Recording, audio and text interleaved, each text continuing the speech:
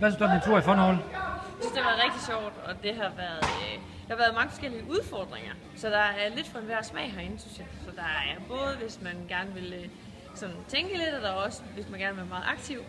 Øh, så jeg synes faktisk, det har været rigtig, rigtig fedt. Øh, så har der været nogle computer og nogle forskellige mekanik, som vi også har fået lov til at prøve, og det har også været mega spændende, blandt andet at skyde ender og øh, ja.